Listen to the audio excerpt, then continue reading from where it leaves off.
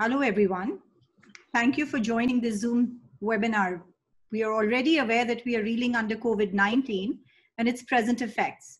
We continue to scramble through virtually reconfigured approaches looking for solutions in this crisis.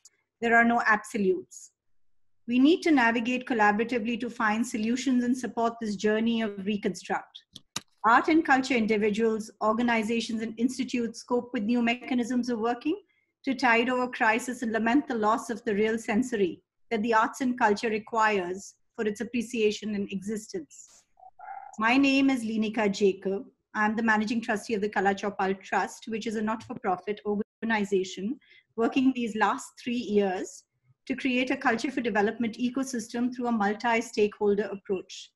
In COVID-19, those issues have now magnified tenfold.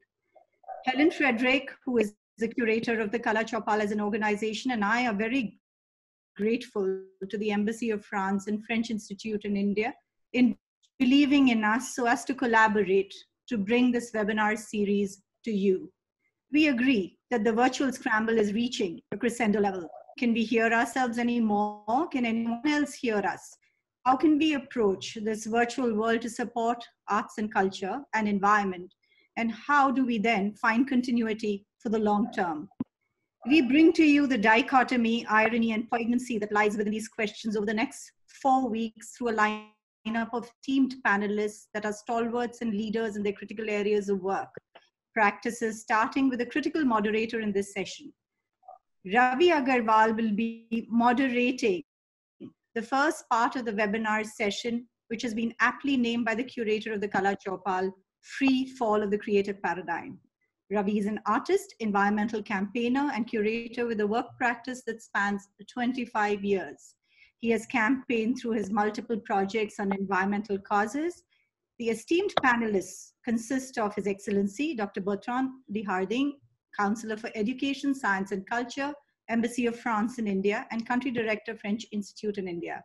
He is a lover of arts and culture and the value it brings to the development of humanity. He has been in India according to him, 10,000 years. In real terms, that's four and a half. And he works through the multi-channel approaches to develop the Indo-French alliances and supports. Alice Audouin, founder and chair of Art Change 21 and co-founder and former chair of the French Association COAL, Art and Sustainable Development, who sets the note on her journey to environmental activism and global thinking through the Mask Book Art Project, that is designed to raise awareness about air pollution and climate change, and with whom the Kala Chaupal Trust is now collaborating on the Maskbook India campaign. Last but not the least is Jack Rasmussen, who's the PhD director and curator of the American University Museum at the Katzen Center. In relationship, the open in September addressing issues in the USA election, environment, immigration, human rights, surveillance, and addiction. I invite Ravi now to take this forward. Thank you, Ravi. Uh, first, I'd like to thank Linika and Helen and the Kala Chaupal for inviting me and inviting us to this really interesting uh, uh, session. Um, to introduce the topic, my perspective, um, uh, just a few words, and before I get the panelists in, uh, I think precarity and vulnerability is a characteristic of art and part of the art of uh, life of artists. Uh, and artists are deeply aware of the ideas of precarity and vulnerability at all times. Uh, but the art institutions, uh, which are part of the art community, provide continuity, stability, and financial as well as psychological sustenance. And when that collapses, as that seems to have done now, it leads to several several types of breakdowns and uncertainties, but are also extend to the artistic community. And they're very hard sometimes, as they seem to be very hard to deal with, and uh, including financially. Uh, this event, I think, uh, shines a light on the structures of the art world, the galleries, the museums, the markets, and the artists uh, at the base of it. Uh, there has been a collapse of museums, galleries, and markets, and these, there seem to be no easy end in sight. The question we want to discuss today will deal both with the nature of the collapse, but also the kind of alternative models of support for art production and viewership, which can be envisaged in the, in the coming future. Uh, does this imply a uh, paradigmatic shift or will these new ways become part of what we have or will be will this be a new world of art institutions. Uh, so will be an extension of what we do or will something get reconfigured? My three panelists here uh, uh bertrand alice and jack who have been i guess introduced by Lenika, uh, they're very precisely placed to answer these questions. So I will just start uh, straight away and pose the question to the three panelists. Uh, to try to reflect what is the nature and extent of the collapse owing to the panic, uh, if you would like to call it, call it a collapse, and what has been the impact on your programs and institutions. And if, uh, if Bertrand, if you don't mind taking the floor, followed by Alice and then by Jack. Thank you. Thank you very much, Ravi, and uh, thank you, uh, Lenika and uh, all your team for introducing everything. Yes, actually, it was at least the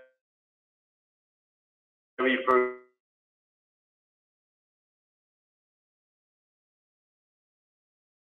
first day the collapse. We are supposed to close on the 29th of March, and of course it closed uh, some weeks uh, before the foreseen date when you cannot allow the people to have a, a direct contact, a physical emotion, uh, a direct perception of the work of art, and the same goes for being able to go to a theater, to play a theater, to see a theater play or a movie, uh, being able to go to the concert, to watch the musicians. It's, I think it's, it's, it's a loss. It's a loss, and hence this, uh, the importance of this discussion.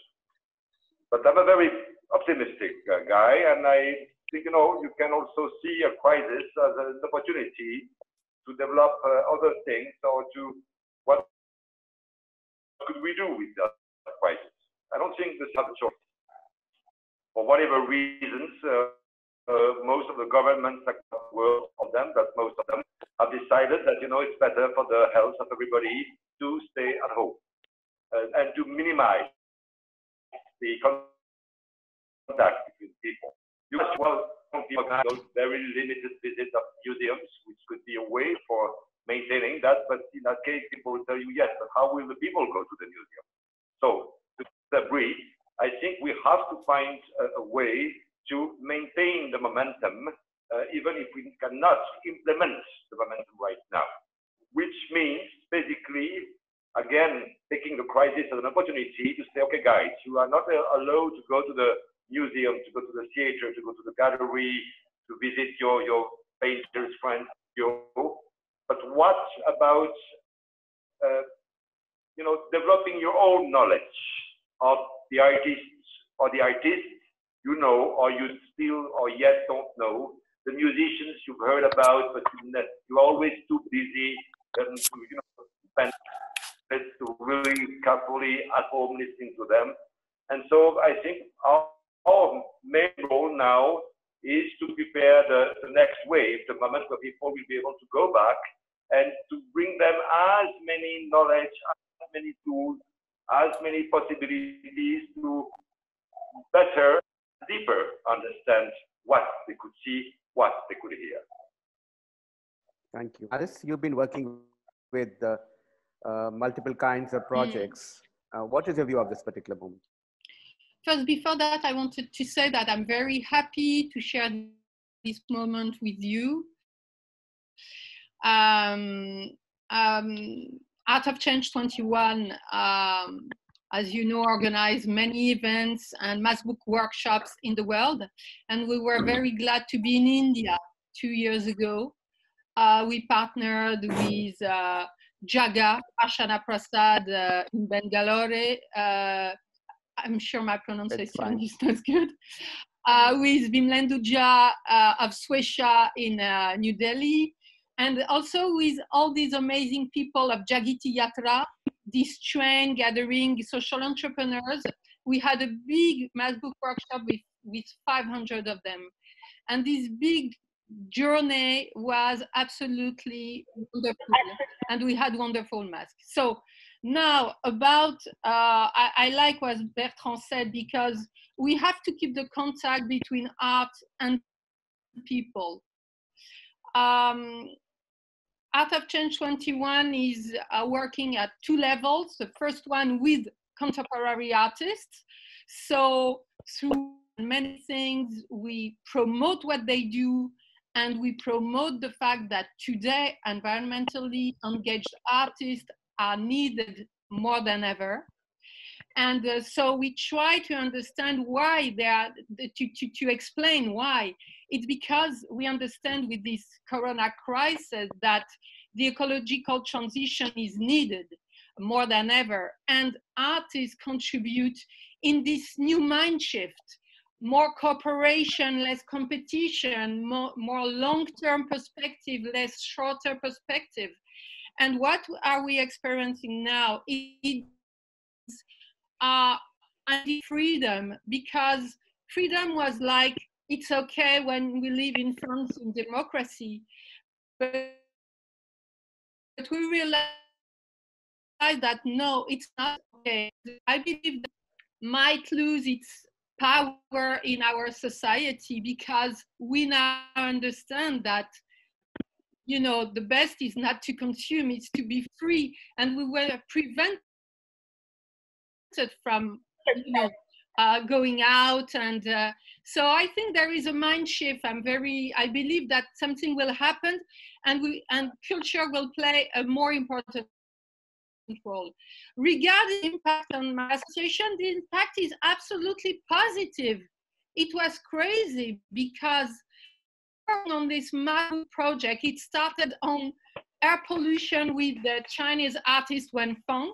We had this, you know, protective mask as a symbol, and we had plenty of workshops. So the only thing we had to do as Maskbook was based on the link between health and the environment. So we were absolutely in it, as we know that this crisis come from the, a zoonosis, you know. Uh, so it's based on the link uh, between, um, you know, uh, health and environment. So we only had to launch a new thematic after our pollution and climate change. Hey guys, there is something new. It's, uh, you know, an epidemic, and let's work on that with Maskbook. What we had to deal with it's to be very careful with the mask because to say don't use your real protective mask you have to take your mask to for your health so we had to push people to to create mask uh, with paper and everything so from art of change 21 point of view um, it was a kind of huge opportunity to to promote the Maskbook project. And we were so, um, you know, um, happy to receive so, so many portraits from all over the world. And Wen Fang, our friend in China, also led a campaign. So for Art of Change 21, because we were on this health and environment thematic, we were like, oh, okay, we know that. And the mask which at the five years ago only concerned Chinese people, now is worldwide. So I received many messages like, you were a visionary with this mask five years ago. Now it's all over the world. So I'm sorry to look like opportunistic, but when we realized that, we knew that the Maskbook project will have a big time now. uh, the bad point is we are related to many many artists and we see how difficult it is for them to sell artworks and to you know to to, to, to make a living so um, there is a there is an initiative named les amis des artistes uh, which uh, which helps artists and we will see how we can especially help environmentally engaged artists so they can cope with the situation. Plus, um, we will organize a big exhibition for the IUCN Congress in Marseille in January 2020, focused on biodiversity. And we will we are rethinking this exhibition because we think that after COVID-19, it's another exhibition which should take place. And we are working with the Ministry of Ecology and the of, of French Office of Biodiversity now to see how before the, the, the, the exhibition, we can organize something online. And my last point will be you know this exhibition we have to organize on biodiversity for IUCN. Before COVID, we would have only be exhibition, catalog, exhibition. And now we think in a completely different way. We know it has to start before, maybe now. There will not be as much people as we can expect who will visit the exhibition so how can, as Bertrand said, how can we share the exhibition? How can we share what the artists say and do with their project with more people and to find other ways than just an exhibition? And I think that many people are thinking about that now. Uh, we can't um, count on just one exhibition. We have to imagine other ways. Thank you, Alice. And you know, I was meant to, um, I'm in the process of curating an exhibition uh, end of the year. And the question is the multi-site exhibition. And the question is the whole thing of site changes. What is the site now? The site before is not. So we all have to learn of what this means. And thank you for, uh, for your. Uh, yes, relocalization. We, you know, we will not invite people, artists from the US maybe, because we are not sure even in next January if they can come. It changes many things. I'll come to you, Jack. Jack, you are part of a university museum, uh, a major and very important museum. Your impacts must have been very different. Can you tell us something about how museums and your museum is coping uh, in, in, in the US? Sure. Thank you, Ravi. Uh, and I want to thank Helen Frederick for inviting me to participate in this important panel. Um, I'd like to talk about the pandemic and its effect on the AU Museum and what we intend to do about it going forward. The pandemic, of course, is a tragedy for uh, so many people all over the world, and it is probably in poor taste to discuss the inconvenient disruptions to our little art world in the same breath. Nevertheless, the arts are going to play, I think, an important role in making the world whole again we must help make this new world and we must not waste this crisis. On March 14th, students, faculty, and staff were told to leave the uh, campus of American University. Classes were to be taught remotely and uh, the staff would telework. Classes, uh, the museum was closed with six exhibitions on the walls, caught in limbo, and we were locked out. Uh, those exhibitions are still on our walls and will most likely stay there at least uh, until uh, well into June. I wanted to believe that our seven summer shows could go up in mid-June, but as that virus marched through the population, it became clear uh, we weren't going to be able to enter the museum before June. And in any event, art transporters aren't transporting and uh, storage facilities are closed and nothing was going to move in time for us to allow us to install our shows before July. So I canceled the summer shows and continued preparations for the fall. We then learned that the university was down about 27 million in lost tuition and rental fees over the summer, and all universities are expecting declines in enrollment uh, for the fall semester, costing many more millions of dollars so the result is the university directed the museum to drastically cut its budget and eliminate a total of 14 exhibitions over the next 15 months, while extending others as a cost-saving uh, measure. Unfortunately, fundraising has come to a standstill uh, as donors hold on to their cash. We won't be able to offset these budget costs so far we've been able to keep our team intact, though we have lost a whole cadre of graduate students and contract workers, most of whom are artists. We're directing our efforts at working on our future reopening and ramping up our online presence. Uh, there is a new feature on our website called Museum at Home. Uh, digital catalogs are available for recent exhibitions. Uh, digital storytelling on Instagram features artists scheduled to exhibit. Spotify playlists of songs from artists scheduled to exhibit. Children's art tutorials uh, for parents at home. Staff selections from the collection featured on our e-blasts and on social media. We're working to present gallery talks with artists and curators through different online platforms. Exhibiting artists offering online workshops. Uh, we're hosting a series of online town halls on relevant topics for artists. Uh, for example, we're collaborating with Third Space Network to present an interactive series of panels uh, online titled Raw Hope for Humanity. Our fall shows were all curated with an eye towards addressing issues in our upcoming presidential election. The exhibitions fall under five headings environment, immigration, human rights, surveillance, and addiction.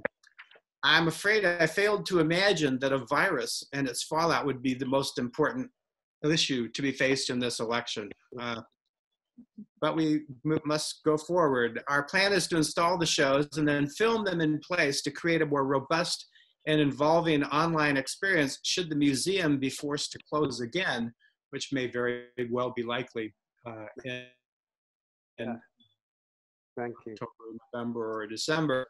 Uh, we want to be ready for it. Uh, we're showing uh, uh, exhibitions on the environment, Edward Burtynsky's uh, series on water. You can see the loss of the snow, snow on the on the mountains there in that photograph. Um, it's it's aerial and on-ground photographs of man-made structures, agricultural fields, dams, and natural habitats, all affected by climate change. Burtynsky's hope is that these photographs will stimulate a process of thinking about something essential to our survival, something we often taken for granted until it's gone. Uh, then immigration. Two shows on immigration. One is by Alan Gerson, a human rights lawyer and advocate who turned to photography uh, and has created large photographic murals of the Mexican side of the US border wall. The photographs examine the immigrant experience and idealized images of what may lay north. You see them here. I mean, we, we've often talked about art, about immigration being a weapon uh, from, uh, from, from Mexico into the United States, undermining our way of life in the, in the news. But uh, actually, uh, the other show by McRae Pita uh, is a, she's a Uyghur artist, um, and her work focuses on a continuing campaign by the Chinese government to destroy Uyghur culture through forced immigration of Chinese into Uyghur land. So she's an extremely powerful and uh, brave artist. Uh, and human rights. Uh, the first show is uh, Queer Threads, Crafting Identity and Community. Fiber art here is posed as the ideal lesbian, gay, bisexual, and transgender medium, it being feminine, masculine, high, low, and at least in the context of this judiciously racy show, naughty, nice. A few more images coming up. Very nice. And then we're showing uh, Amber Robles Gordon. Uh, mixed media artworks deal with the artist's own Caribbean, Puerto Rican descent, uh, gender binaries, and how we treat men and women versus how we treat our possessions and the environment. Uh, the next series is on surveillance. Uh, Bev Ryan uh, creates, creates an installation throughout the museum, everywhere you look, up in the ceiling, down below, behind corners, around corners, uh, images of weaponized surveillance watching the visitors to the museum. And uh, we're working on that. And then a show on addiction. It's a video installation by Suzanne Firstenberg addressing the scourge of opioid addiction, as well as addiction in its more familiar forms, such as smoking, cell use, cell phone use, and shopping. Uh, the challenge, as we've been talking about, is to present art online in a compelling way I believe we haven't seen the last of real objects in real museums. I certainly hope not. But we can take advantage of new media to provide a richer context uh, for our exhibitions and begin to expand and reach a new audience uh, through these new uh, new efforts um, and reach them with, I think, important and necessary ideas.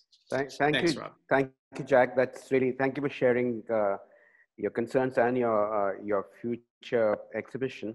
I just have uh, just three short, brief. If you could answer briefly three short queries. One is is what you're suggesting for your museum. Is that a general thing happening in, in the U.S. across the museum world and the institutional world? And uh, secondly, uh, when you translate this to online, do you have the do you have the capacity already in the museum to do that? Because this is uh, something which we are doing, like showing something on the website, but it requires a whole technological sort of uh, relearning in a sense. Well, everybody is scrambling to figure out how to have a presence online. I mean, that's everybody's uh, necessary goal right now. Uh, we, of course, are a small university museum. We don't really have the resources that the National Gallery has. I mean, they'll probably never miss a beat. Uh, they're completely ready for this. Uh, we are trying to figure out how to do it. Uh, forums like this, we're we're learning how to navigate the uh, you know the uh, these different forums with this whole series we have on the raw hope for humanity uh, coming up is uh, an amazing um, uh, program that uh, we're- that we're just trying to figure out how to do you know this this kind of immediate interaction. Uh, so we are learning. And uh, I, as as everybody else is I, I I presume. Bertrand, coming back to you, uh, you have a very unique position. You are uh, the head of um, a bilateral mission between India and France here. So you are not only uh, doing one show, you are you're enabling many things to happen, including uh, contact, collaborations, uh, shows. Um, so have a much bigger cultural agenda on your hand. And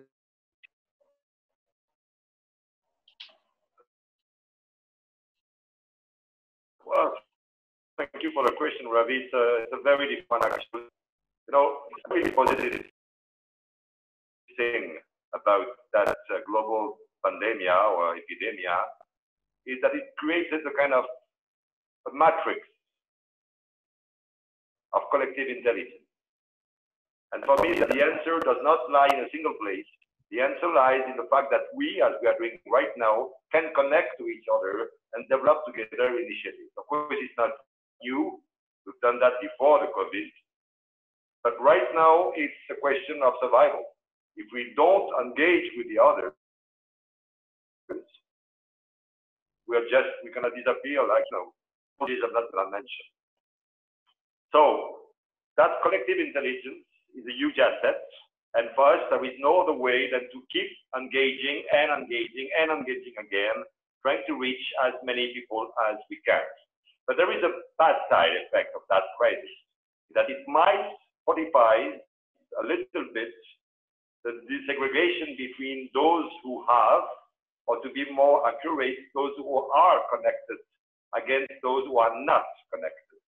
And I'm afraid that we have to be extremely careful about not creating a deeper shift between those who are connected, can access all the fantastic exhibition I can now see from what Jack is doing in Washington, versus the people will never think about looking at an exhibition on their very small cell phone that you know they can carry in Karnataka or wherever in the world.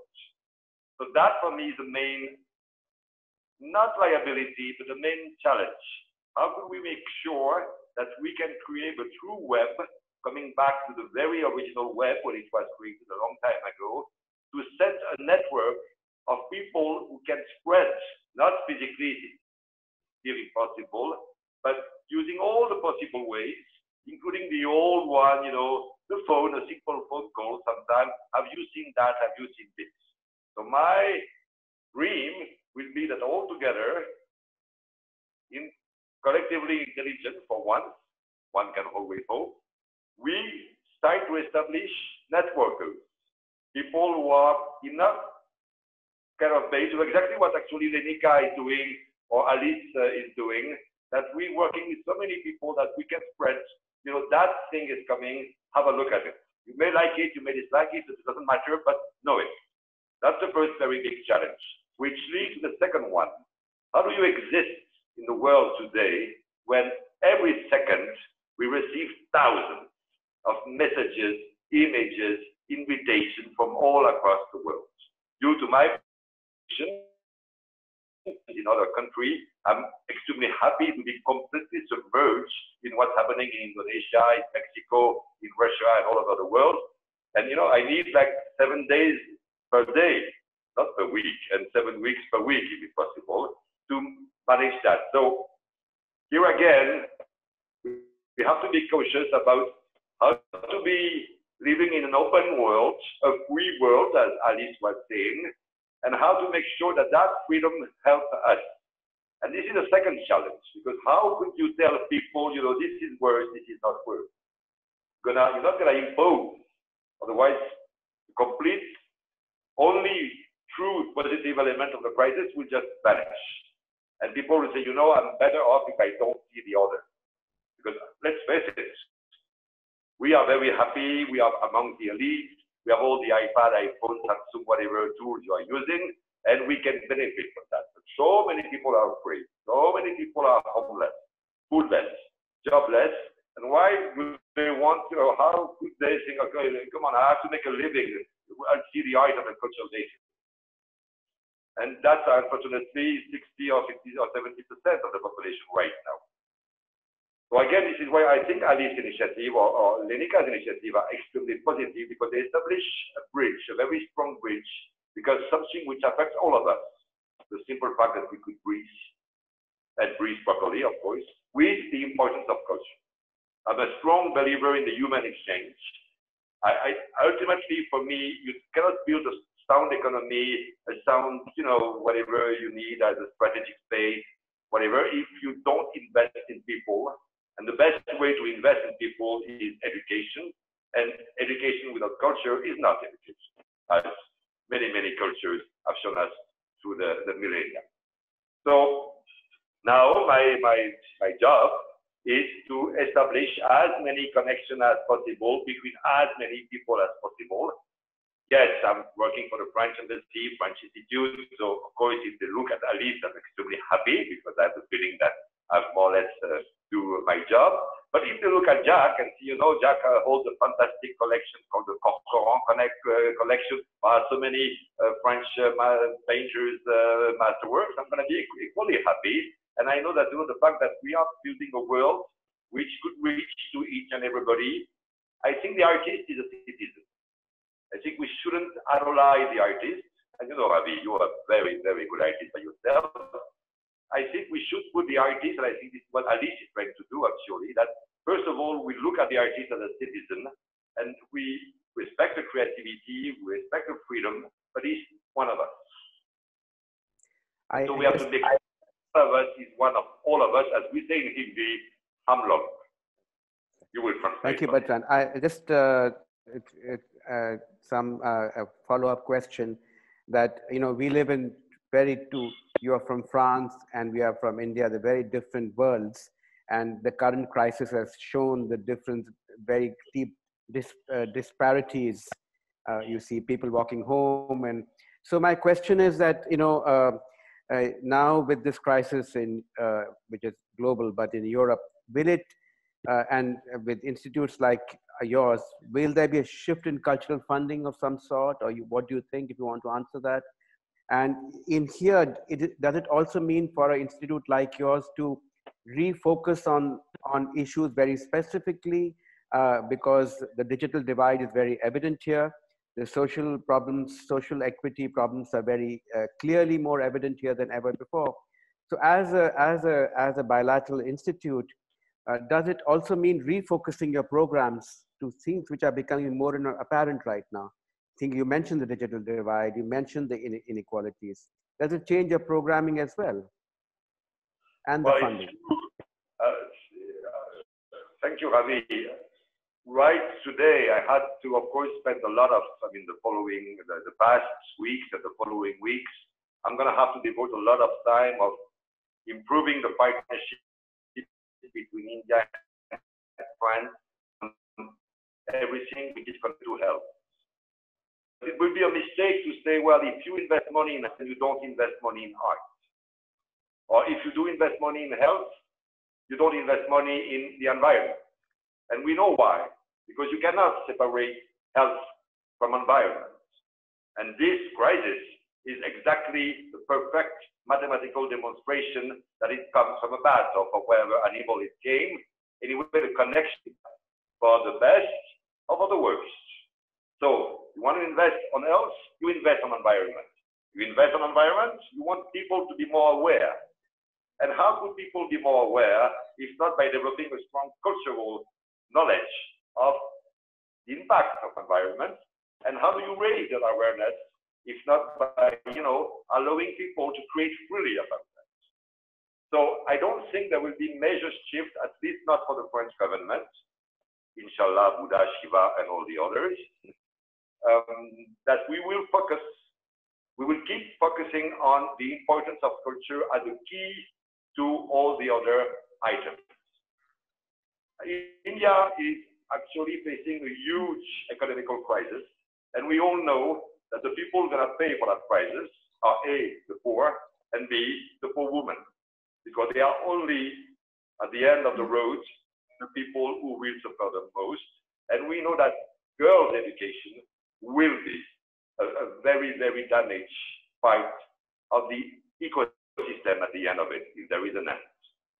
So I think we should focus also by helping institutions who are using each and every tool to raise that issue again and again. There is nothing more important in the world than girls' education, and art and culture is a fantastic way to deal with that. Thank you, but that's heartening to hear. Uh, uh, Alice, coming to you, you have for long engaged uh, in uh, in the mask project, in the art of change, not the art of, uh, you know, so that's very important distinction you make on the art of change uh, project. Yes. But you are also an artist, okay. and you you have a collab. You, you you talk to a different world than institutional worlds talk to. What is your sense of the kind of uh, pressures artists are feeling today?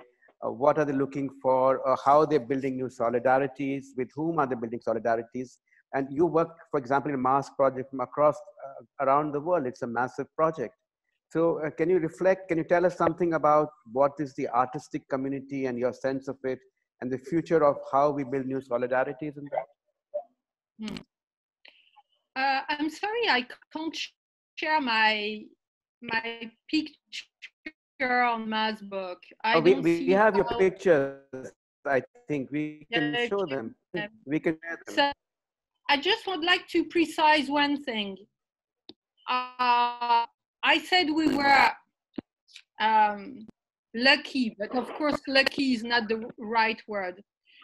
Our book was an offline project, only based on real collective workshops.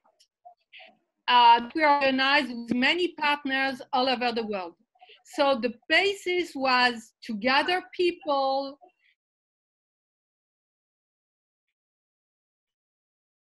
uh, they had to meet on salary, and then it was a very collective moment.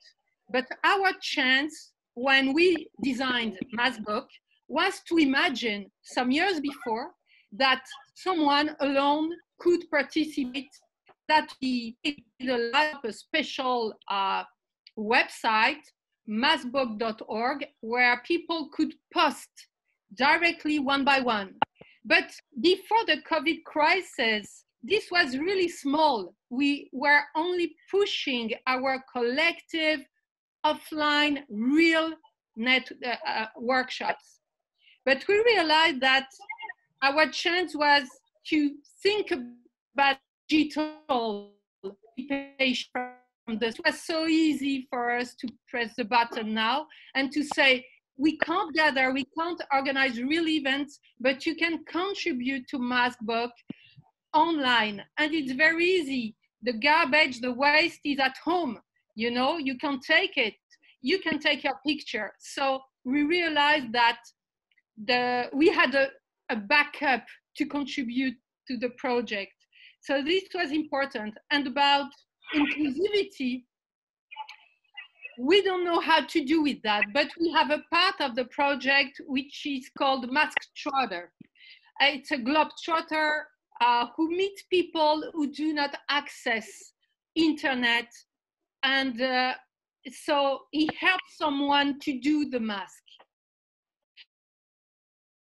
Uh, so to see how it's possible to reactivate this part, because as Bertrand said, even to contribute to Maskbook, you need to, be, to, to, to put something online.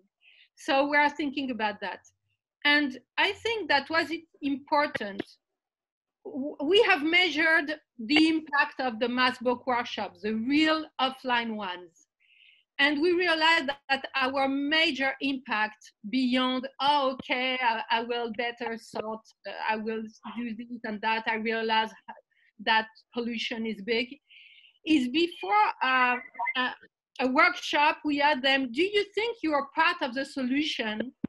They say no i'm too small. And after a workshop after they did something by the hand after they were themselves in a process of creation of expressing their messages and create something they change their mind and they say yes i can be part of the solution.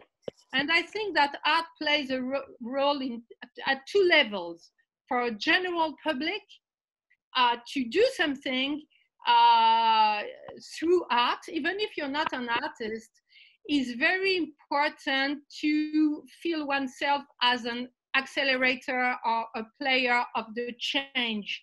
Uh, and I think it's a, a good education to, to stop um, this feeling that oh it's to be accompanied so this is uh, output and then contemporary artists who are today environmentally engaged they have all the solution if you take Otobong Nkanga the Landversation she was in Bangladesh um, uh, two months ago Landversation is a kind of talk with different shareholders and then she creates something from that. Uh, when I see the new ways, projects, not objects, but projects, uh, new ways of dealing with stakeholders uh, that artists know uh, how to create new methods for sharing and building together. We think i think that uh, that kind of artist and it can be also Tomás Saraceno with his Aerocene big project to imagine what a post-fossil society could be for imagination for creating this new world i think we should be more focused on that type of artist. Some of them are very well known some of them are less you know renowned and it's important to better know them because when you see an artist an american one uh, named Michael Wang his major project is named uh, extinct in the wild. He reviewed he take you know extinct species and he and he does something like how to to revive it with art. So there are many many experimentation by artists today, and many solutions are now in their experimentation, and we must learn from their from them more than we do because we don't know them enough. My database includes 2,000 artists related to global stakes. But if you go to a museum or an art exhibition or art fair, it's a, really a minority today. So we have to find a way to increase, and this is what you do uh, with um, uh, with your exhibition, of course, because Burtynsky is one of them, very big. Um, and this is what, what, what Lenika does, and thank you so much for what you do because she pushes that kind of artist. And this is what Bertrand will do and that we all share in common. Today, one kind of artist, the one who has decided to play a bigger role within the society, to uh, must be um, more, more promoted, I believe. So you're, you're suggesting a solidarity with the society, with the social discourse. You're suggesting that art needs to speak to the social discourse much more precisely. For me, what they do is not much solidarity, it's innovation,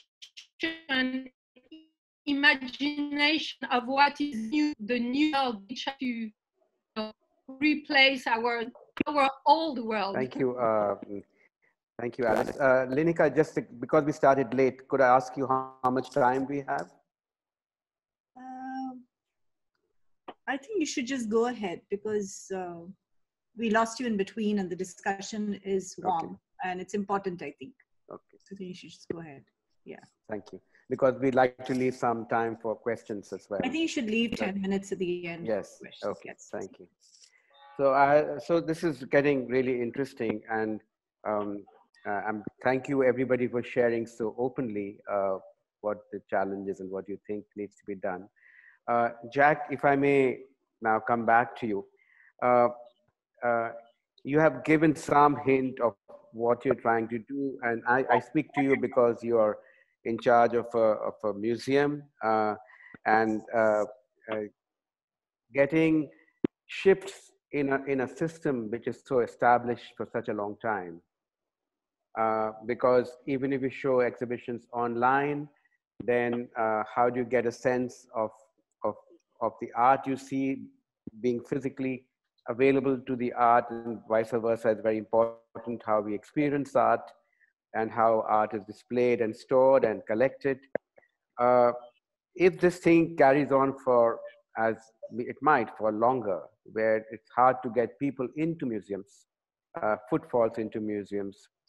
Uh, what kind of shifts could be possible to make these institutions still viable and still uh, in a place they'll survive uh, as institutions? Or do they need some basic reconfiguration? It, it could be speculative thoughts on your part as well, doesn't have to be. We all sort of trying to figure out and you're well placed to sort of speculate or, or if you've thought about it for us to, to share with us.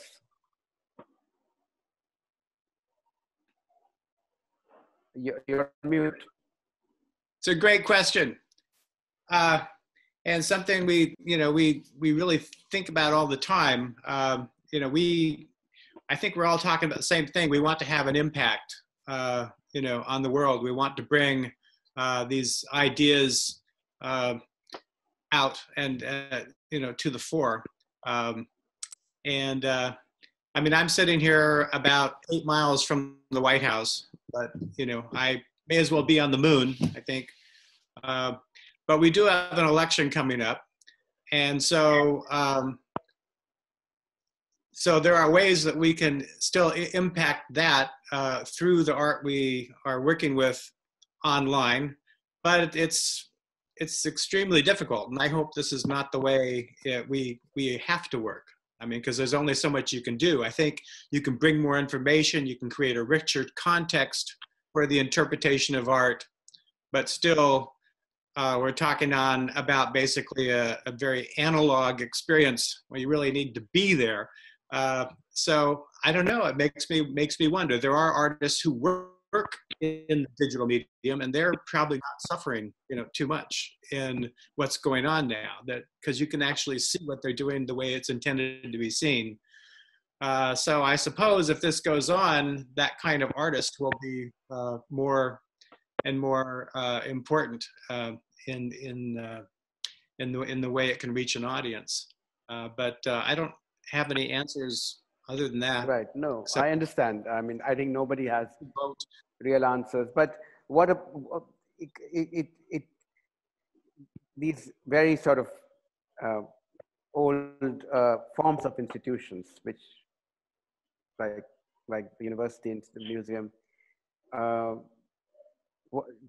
can can they become will they become different or will they start focusing differently i mean digital art is one thing but art is still such a such a mm, mm, everything there could be so many mediums it's post medium as well well in a way i mean the the, the museum is probably the least green kind of uh, institution or you know structure there is you know keeping things to uh, uh, relative humidity of you know 50% and uh, and uh, temperature control, et cetera, et cetera, et cetera. I mean, it's really you, you wonder how how this is going to work going forward. Is it really sustainable? Uh, and it, you start a museum becomes a repository for things, and then other institutions uh, start to uh, provide other kinds of experience, like uh, you know, Maskbook, for example, uh, where you're not trying to preserve something and in addition to presenting and you know uh, new new ideas but uh, but things may shift. I mean that's that's the way it uh, that's the way it goes. Jack and, are you telling yes, me alice.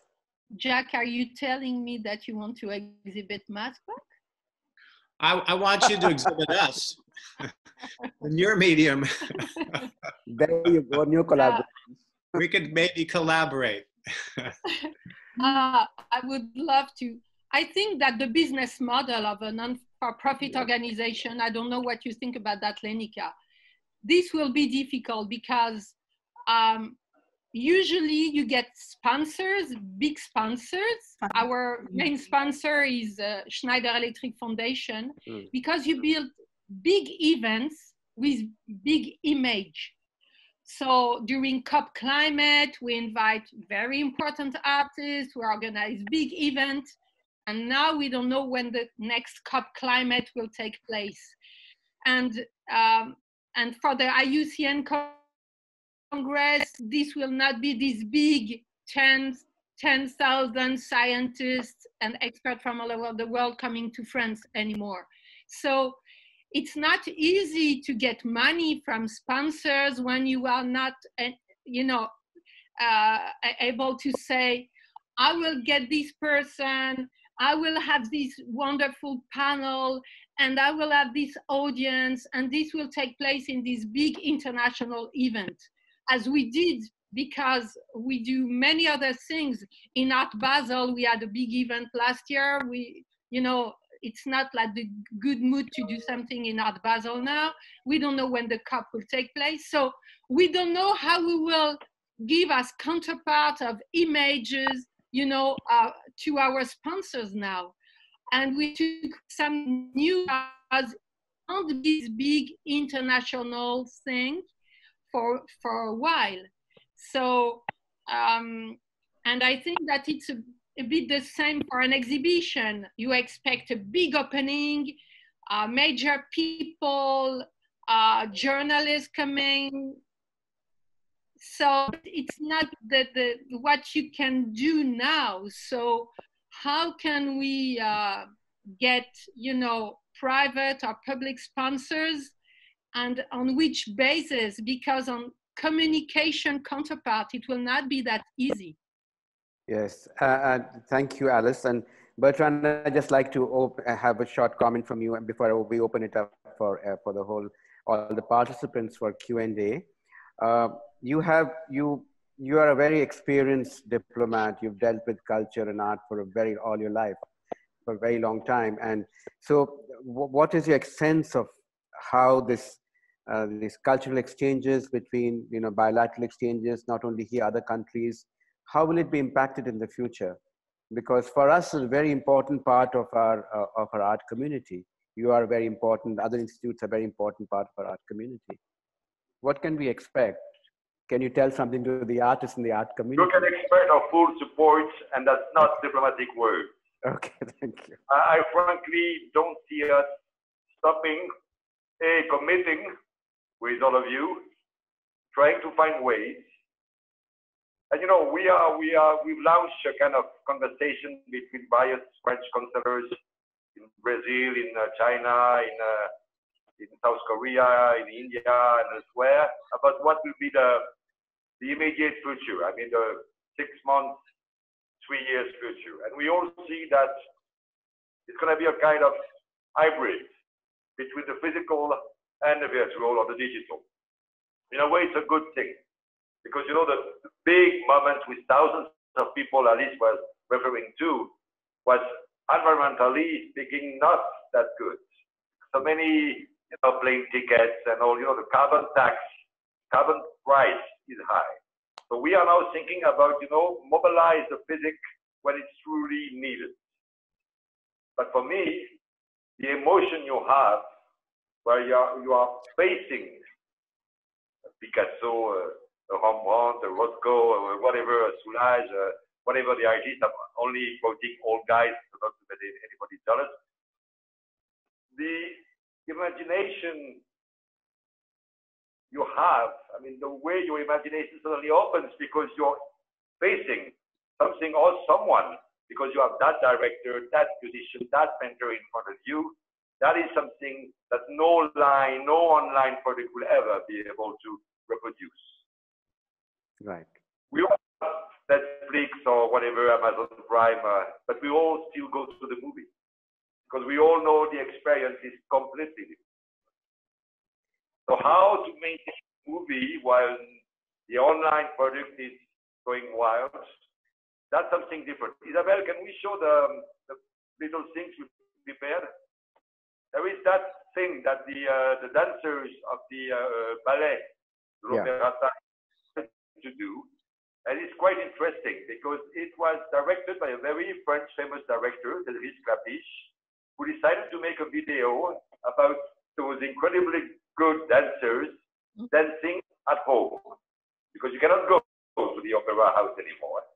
And the very funny thing I would like uh, to, stress is they've done that to pay an homage, to pay a tribute, you know, to all the nurses, the doctors, the helpers in the various hospitals.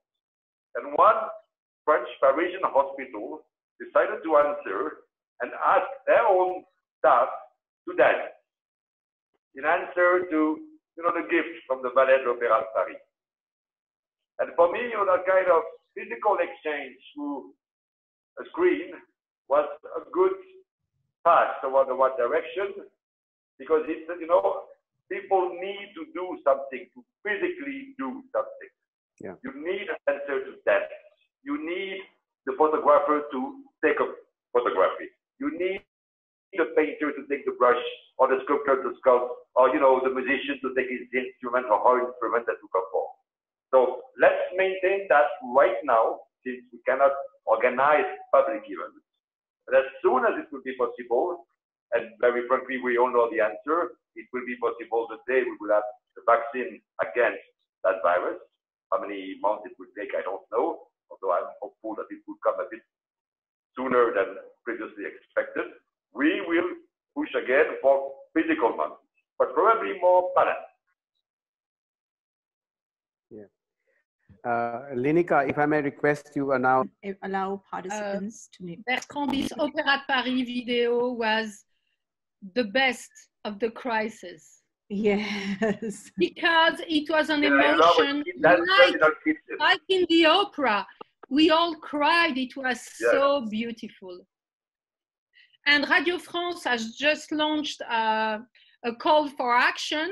They expected it was on classical music, and they are overwhelmed by contribution. And uh, I think that what you say, participatory action is a school of cooperation. And.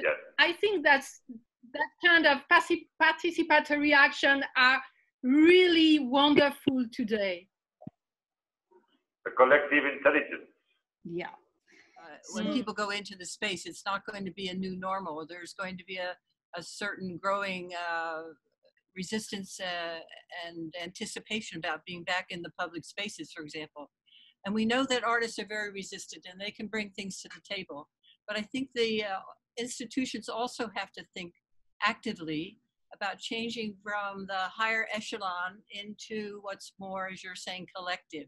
So how do we take this idea of the Bruce Society coming back into public spaces to make them more um, aware of what I talked about yesterday is the archive, the archive that's inside all of us, the institutions and the artists. And how do we bring that together in this bruised society?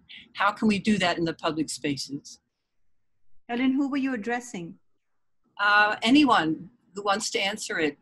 Alice, or might be very good to start.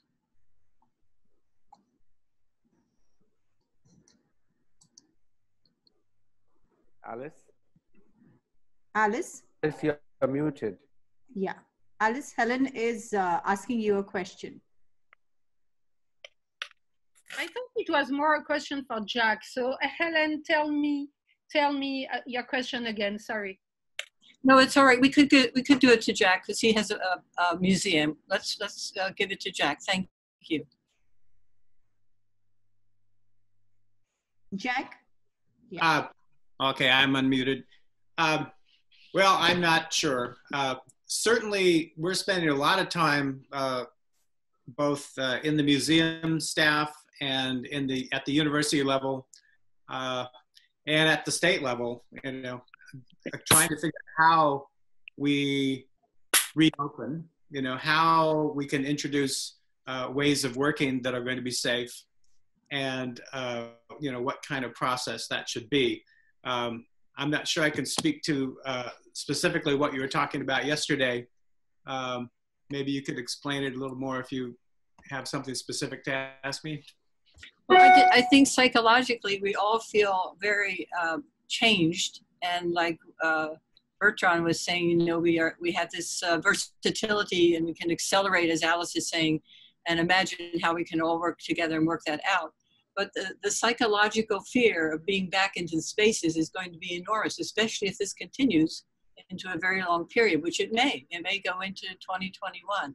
So, how do we plan out to bring back safety and engagement and uh, work on a new platform, not from the idea of who's funding the museums and the, the usual curatorial aspects, but on a new platform? I know we can't define it today, but what are your thoughts about we have to focus on everything, I think. But uh, but certainly uh, we've already canceled our, our opening uh, receptions, for example. We know that that's not going to probably be a good thing to do in September.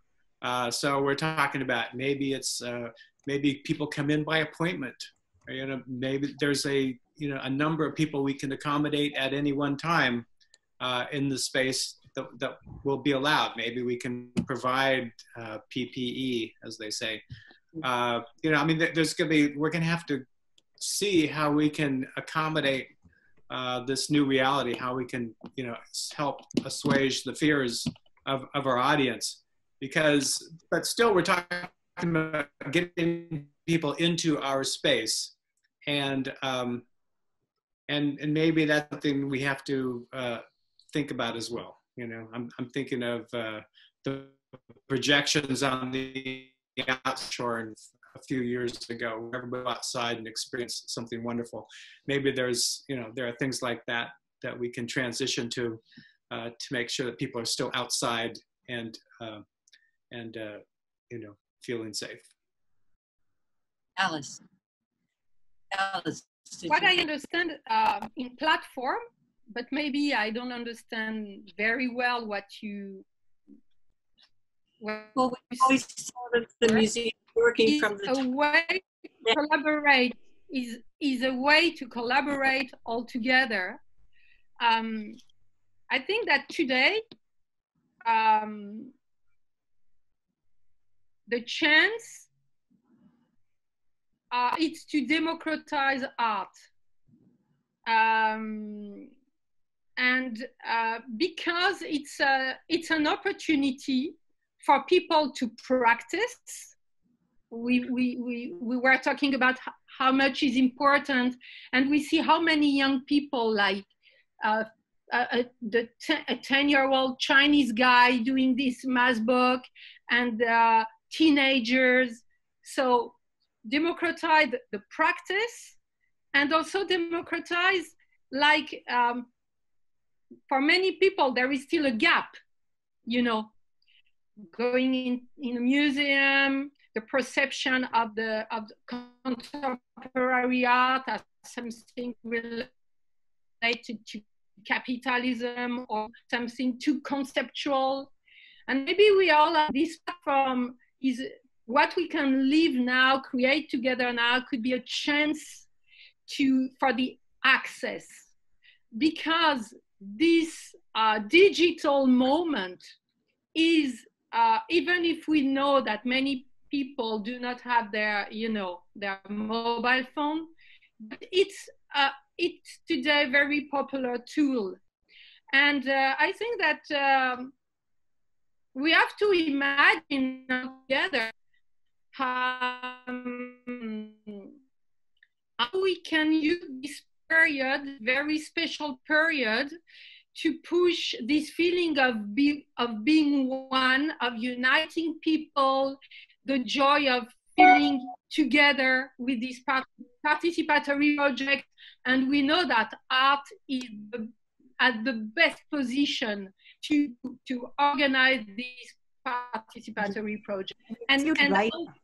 You're absolutely right. Community, I think the community drivers to art and the interconnects with, with people is more and more important today and how does a digital platform work within the sphere for the next six months eight months a year till this uncertainty lasts and we don't have a vaccine for covid how do we how do we last this particular time in the multi ways that we will interconnect you know and continue to keep art relevant exciting and interconnected and also address livelihoods.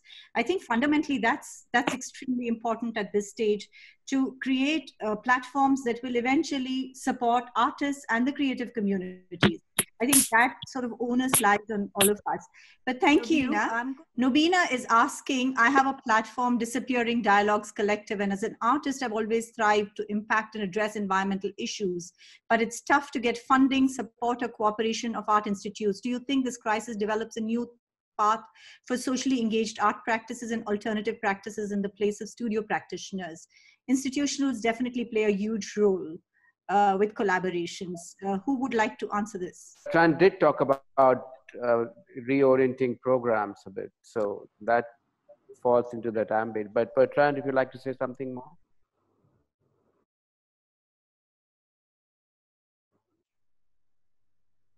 Well, I'm not a drunken white, I'm going to Italy. So uh, in terms of access, going back to what Ali said, because it's also the question behind the platform question. There is under the control of course, a limited number of square meters in any exhibition hall. With an unlimited number of digital each on well.